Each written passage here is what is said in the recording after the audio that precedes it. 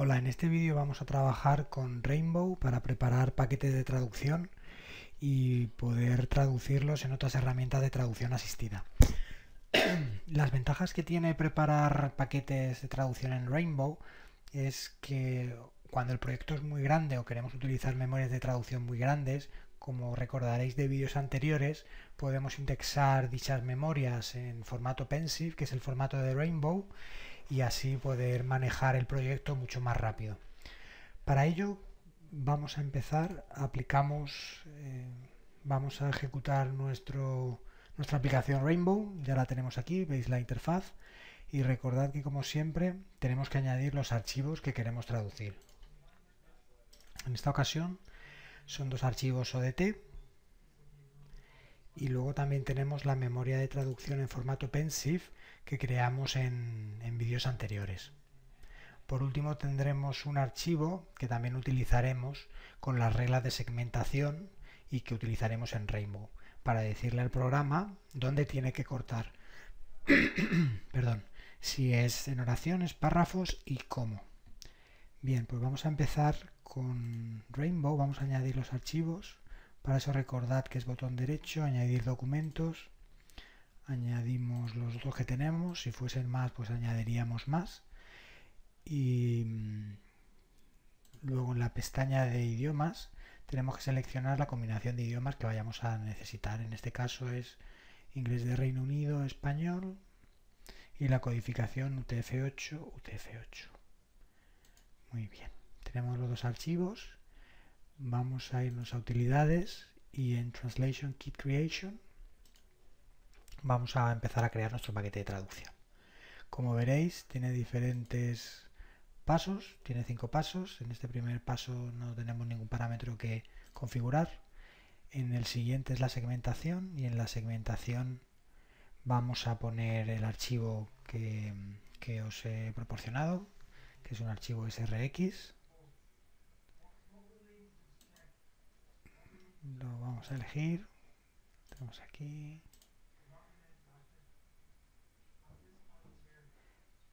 Las diferentes opciones lo dejamos igual en leveraging. Aquí vamos a,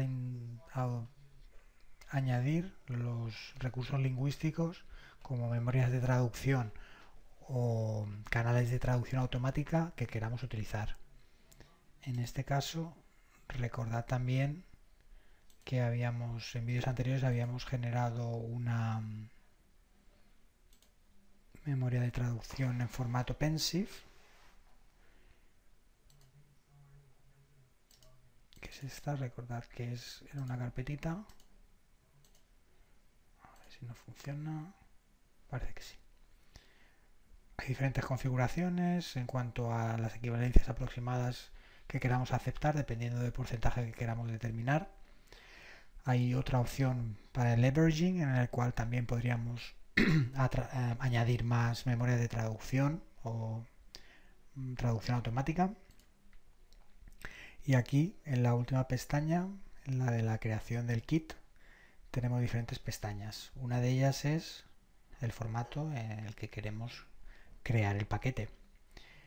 Vamos a, a crearlo en el formato de Omega T para que una vez que hayamos creado el, proyecto en Omega T podamos abrirlo con Omega T, traducirlo y luego volver a procesarlo con Rainbow para obtener los archivos originales traducidos. Parece un poco lioso, pero vamos a ir viéndolo poco a poco. También se podría utilizar el formato XLIF, que como os irá sonando es un formato de intercambio que prácticamente puede ser procesado por cualquier eh, herramienta de traducción asistida. Es un formato de intercambio, un formato estándar y es muy útil para no tener que depender de una única herramienta de traducción asistida. Bien, pues vamos a elegir el formato T. En la siguiente pestaña vamos a elegir el nombre del proyecto que podemos poner Trans Rainbow y la carpeta donde queremos depositar el, el proyecto que lo que vamos a decir también es trans rainbow para saber dónde está.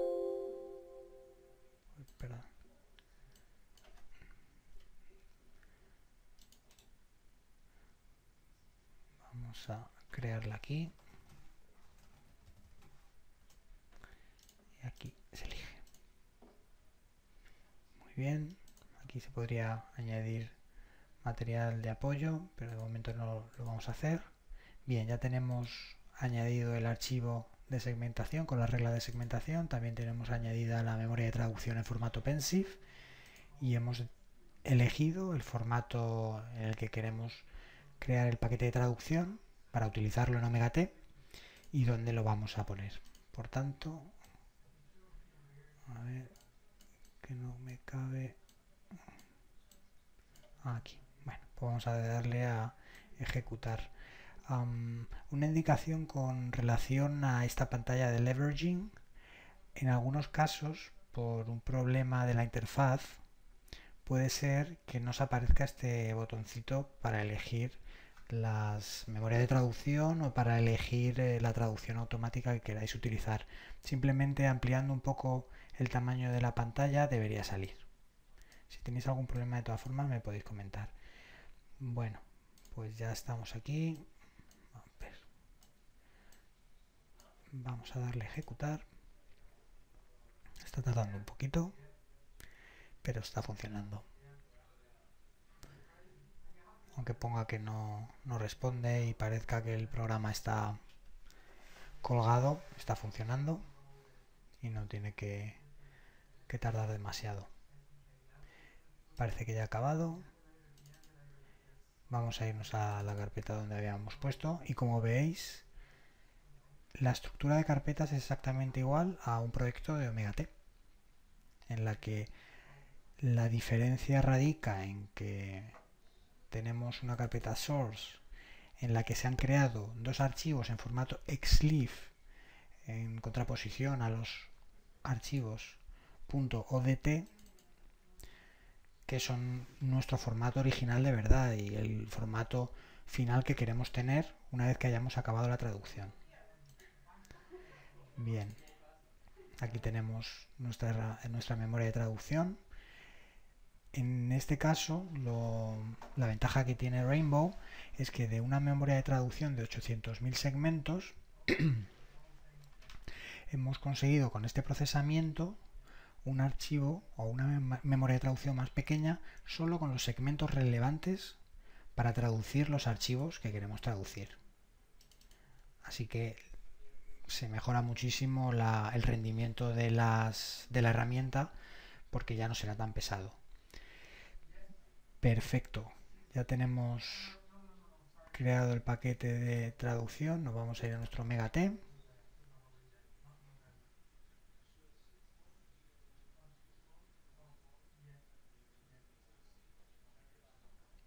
Aquí lo tenemos.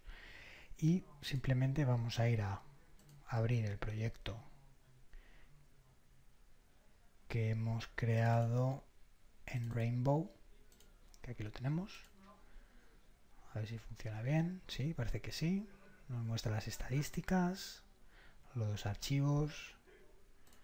Muy bien. Y aquí veis en, en esta parte el editor donde vamos a realizar la traducción que como veréis si hacemos si vamos cambiando de un segmento a otro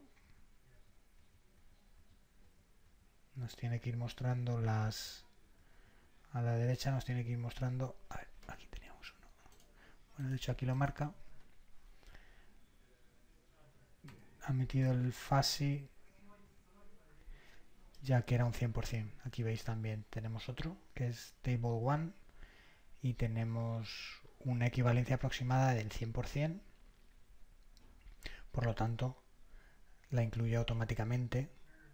Para determinar esta mm, aceptar un fuzzy del 100% o de un porcentaje similar en el que tengamos la confianza suficiente de que está bien, esto se puede configurar aquí.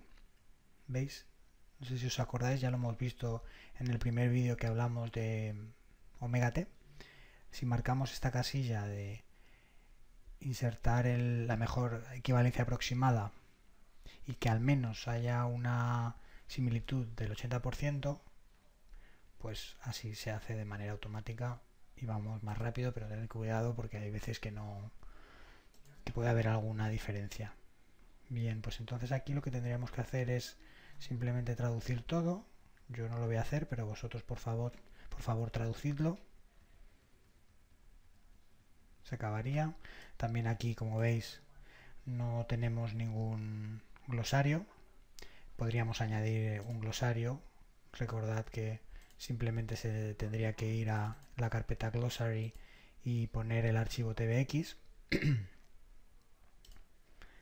Bien, pues una vez hayáis traducido los archivos, tendríamos que ir a crear los documentos traducidos, que es finalizar el proyecto.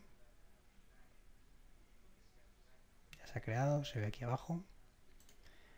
Nos vamos a ir a la carpeta target, que es la, la carpeta habitual de los proyectos de Omega T donde se generan los archivos finales y vemos que se han creado los dos archivos finales traducidos.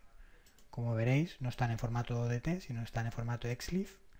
Por lo tanto, vamos a tener que utilizar otra opción de Rainbow para poder procesar estos archivos una vez que están traducidos y poder tenerlos en el formato original. Nos vamos otra vez a Rainbow. Vamos a eliminar estos documentos que hemos estado utilizando antes. Y añadimos los documentos que hemos generado aquí en nuestra carpeta target. Añadimos los dos, son los archivos xlif. Recordad que tenemos que confirmar la combinación de idiomas y la la combinación de idiomas y la codificación es correcta, como habíamos puesto antes. Y ahora nos vamos a ir a utilidades y a Translation Kit Post Processing. Hacemos clic y vemos que tiene dos niveles, uno en el que no podemos configurar ningún parámetro y otro en el que tenemos algunas opciones explorad un poco qué opción nos vendría mejor. De momento funcionaría sin ninguna de ellas. Por lo tanto, vamos a darle a ejecutar. Aquí en el botón este que pone Step Help, en cada uno de los niveles, de los pasos en el proceso, siempre podemos hacer clic y es una ayuda que nos permite ver qué se hace en cada paso, si tenemos alguna alguna consulta o si no estamos seguros de cómo hacerlo. Bien, vamos a dar ejecutar y nos sale un error. Ah, creo que es porque habíamos parado demasiado. Vamos a ver, vamos a ver si nos ha creado algo. Trans Rainbow. No, parece que no. Vale, ya sé lo que ha pasado. Los archivos no son no, tenemos que incluir los xlif sino tenemos que incluir el archivo rkm que es el archivo donde se ha generado la traducción que hemos hecho en, en omega t.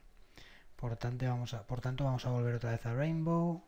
Esto nos sirve para para practicar con la herramienta y ver las diferentes posibilidades tener en cuenta que no siempre va a ser un proceso directo y fácil Vamos a elegir entonces ahora los archivos, el archivo que os he mencionado de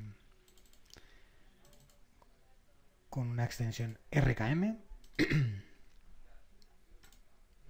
Bien, eso está ya. Utilidades y post procesar. Ejecutar.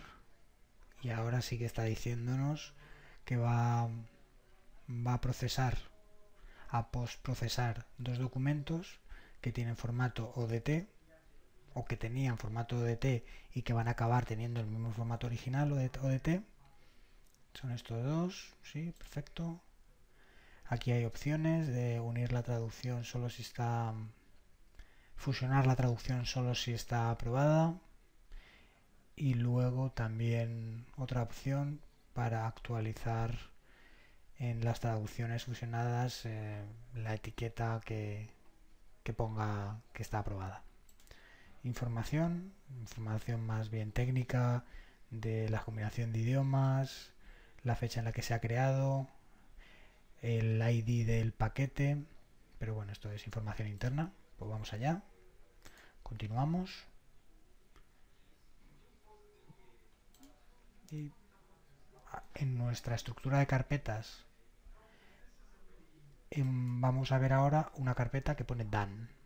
En esta carpeta, en contraposición a lo que normalmente pasa o pasaría si hubiéramos traducido los archivos solo con omega t que una vez habido una vez que hubiéramos acabado la traducción generaríamos archivos finales y acabarían en target bueno como hemos visto pero como no es el formato que queremos porque lo hemos procesado con Rainbow tenemos que procesarlo con Rainbow y en la carpeta dan tachan tenemos los dos archivos en formato original procesados en omega t y traducidos.